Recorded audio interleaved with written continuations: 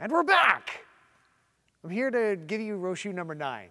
The thing that I want to impress on you in this one is that it's Leggiero. The fact that it's marked piano, uh, Andantino con moto, piano leggiero. Somehow you have to convey this sort of playful quality in your phrasing uh, and you have to at the same time play very subdued in your dynamics. So you want to keep things really delicate, but at the same time kind of flirtatious.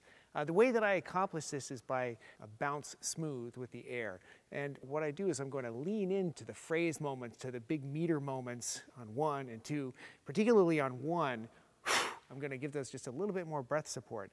Uh, think about the way that a cellist would move the bow across the string, and we do the same thing on the trombone where the string is our lips and the bow is our air. And we're not going to be exaggerated or anything like that, but we are going to be deliberate with how we bring out these phrase moments with a bit more breath support. Uh, and all we're going to do with this is just try to dance with the cantabile that we get going on this Rochut number nine.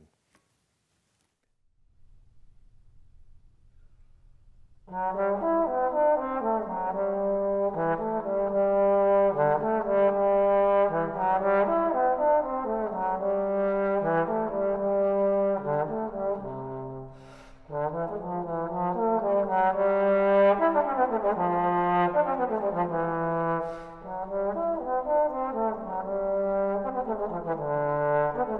you.